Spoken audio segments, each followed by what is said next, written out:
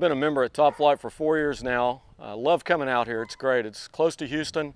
Gives you that South Texas feel for bird hunting, uh, still close to Houston. Love bringing clients out here. Leon takes great care of us when we come out here. Do several trips a year with friends. Uh, great family environment. Always spend time with my family out here.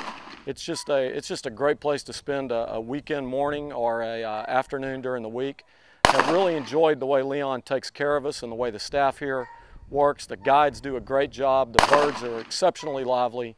And uh, we just really enjoy coming out here. It means a ton to us that Leon lets us do this, and we enjoy it a lot. We've been coming to Top Flight now for about four years. There's about five guys that we've, we've kind of grown up together, and uh, we come down here two or three times a year. It's, uh, of course, located in Columbus, which is very close to Houston. It's easy to get in here.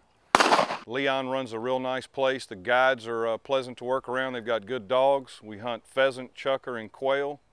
Uh, we also do sporting clays, and um, so it's a real nice place. I would suggest uh, anybody that likes upland game hunting to, uh, to make a visit. I started coming to Top Flight about three to four years ago so that I could train my dogs. I started with a middle-aged German short-hair pointer that didn't have enough exposure to birds and brought him out here. He loved it.